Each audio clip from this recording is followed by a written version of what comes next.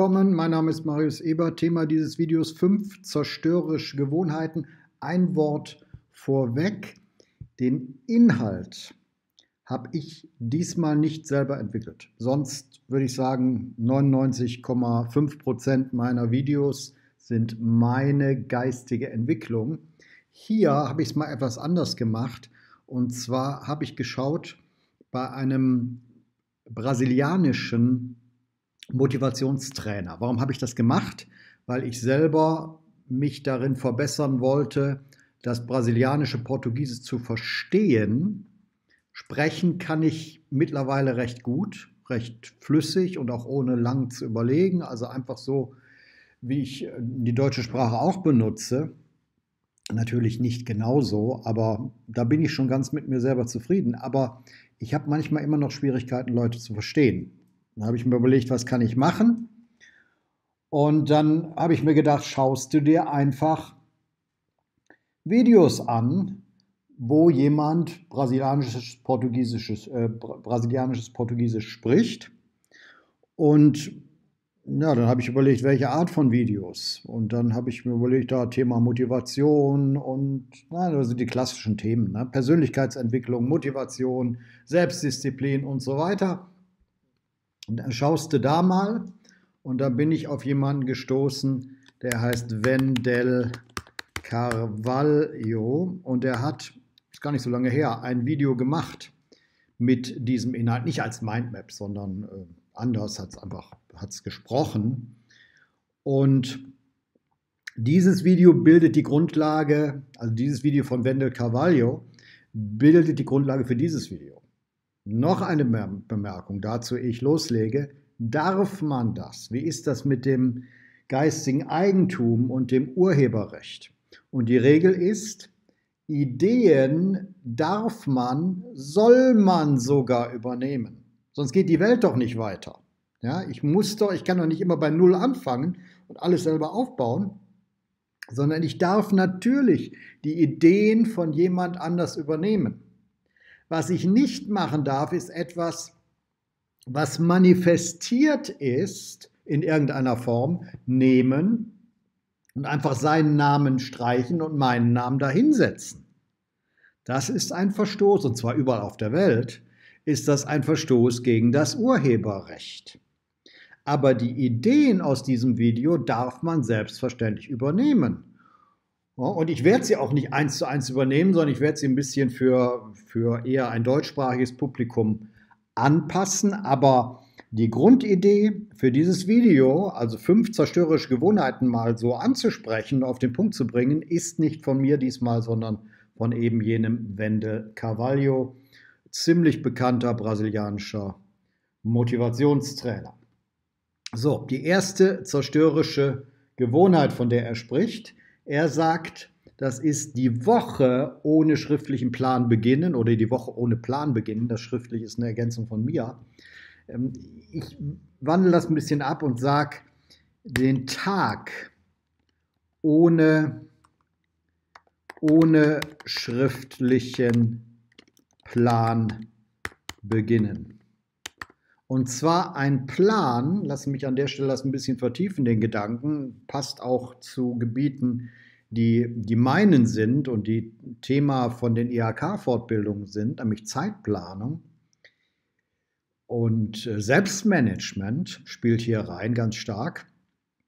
Man sollte, und das ergänze ich jetzt hier, man sollte am Vorabend spätestens oder am Vortag, spätestens am Vorabend sollte man für den nächsten Tag planen. Dann kann sich nämlich schon in der Nacht unser Unterbewusstsein so ein bisschen darauf einstellen, wir sind morgens direkt fokussiert, sonst sitzt man da vor seinem Rechner am Schreibtisch und denkt, was machst du denn hier überhaupt? Und dann kommen zig Ablenkungen und unsere Welt ist, also wir haben keinen Mangel an Ablenkung, lassen Sie sich mal so formulieren, wir haben wirklich keinen Mangel an Ablenkungen. Und dann ist es nämlich passiert. Unsere Aufmerksamkeit wird weggesaugt von irgendwas und dann kriegen wir selber nichts mehr auf die Reihe. Ja, also das ist die erste zerstörerische Gewohnheit, wenn man den Tag ohne schriftlichen Plan beginnt, wenn man also, wenn man den Tag beginnt, keinen schriftlichen Plan hat. So muss man es ganz genau sagen. Und da wir gerade dabei sind, Ablenkungen, eine zweite zerstörerische Gewohnheit, und da bin ich hundertprozentig bei Wendell Carvalho, ist das Smartphone im Schlafzimmer.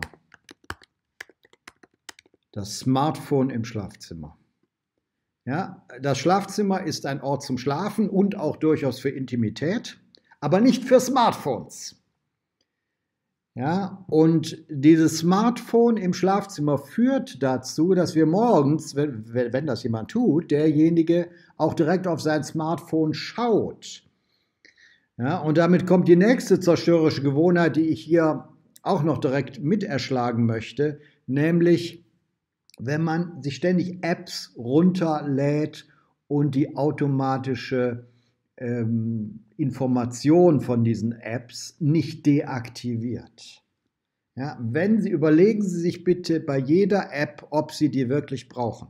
Und wenn Sie die brauchen, überlegen Sie lieber fünfmal. Und wenn fünfmal die Frage ja laut, die Antwort ja lautet, dann können Sie es machen, aber vorher nicht, dass Sie von dieser App automatisch informiert werden. Sonst bricht nämlich die Hölle los auf Ihrem Smartphone und ständig kommt irgendetwas, was völlig unwichtig ist, aber sehr penetrant und sehr unterbrechend. Ja, also, wie nennt man das?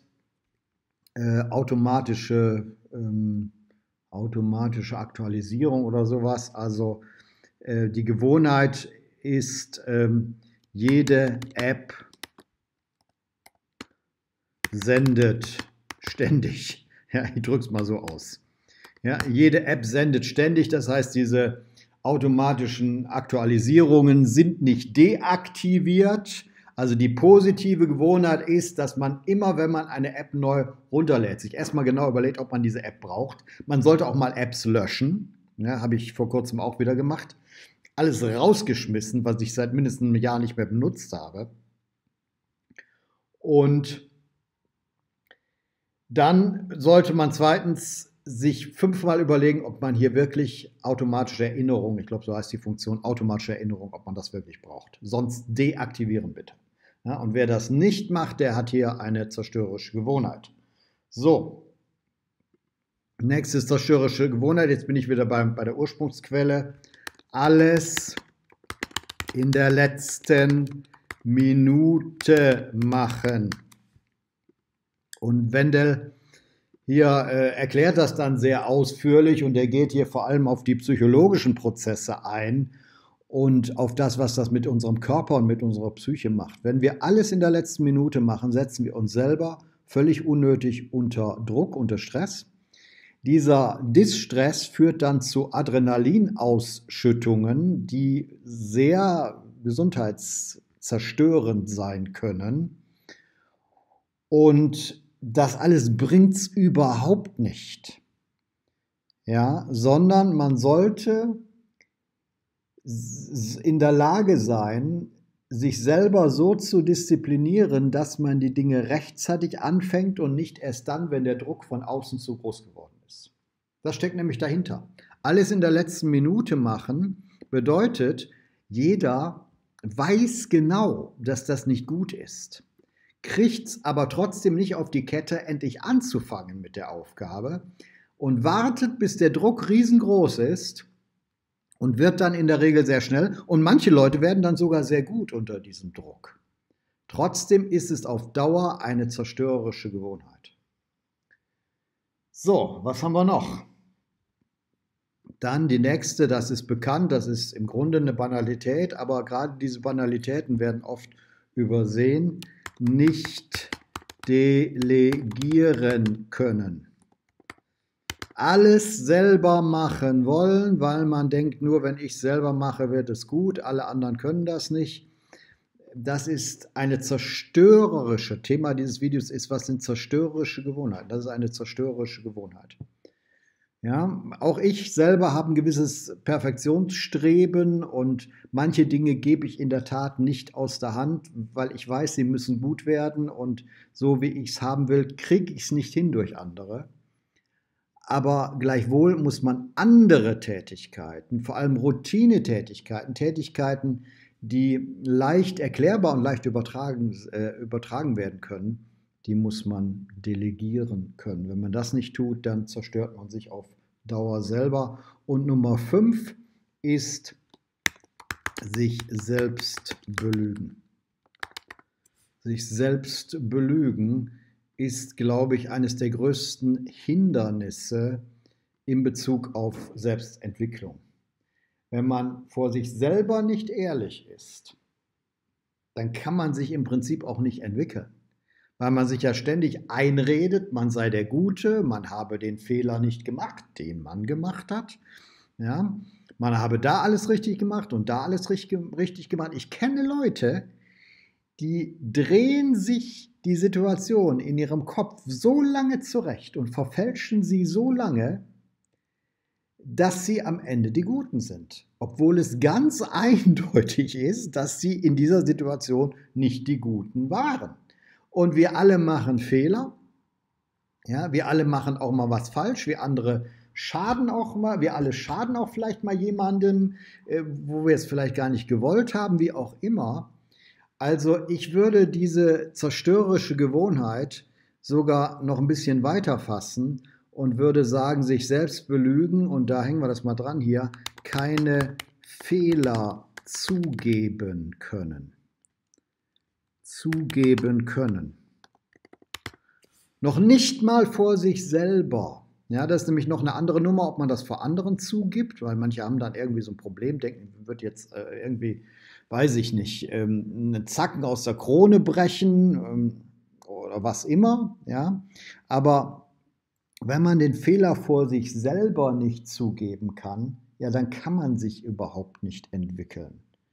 Ja, also ich würde das tatsächlich, wenn ich jetzt so hier darüber nachdenke und dieses Video produziere, würde ich, würde ich diese Gewohnheit sogar noch anders benennen. Ich würde das zum Hauptpunkt machen. Ich würde sagen, Fehler nicht zugeben, nicht zugeben können, ist, glaube ich, das, was da im Kern noch eher dahinter steckt als äh, sich selbst zu belügen. Wann belügt man sich selber? Wenn es um was Gutes geht, wenn es um, um was Positives geht? Nein, man belügt sich selber, wenn es für einen selber eng wird, wenn man selber tatsächlich was falsch gemacht hat. Und deswegen würde ich das mal umbenennen und würde sagen, die kernzerstörerische Gewohnheit in diesem Bereich heißt Fehler nicht zugeben können. Ja?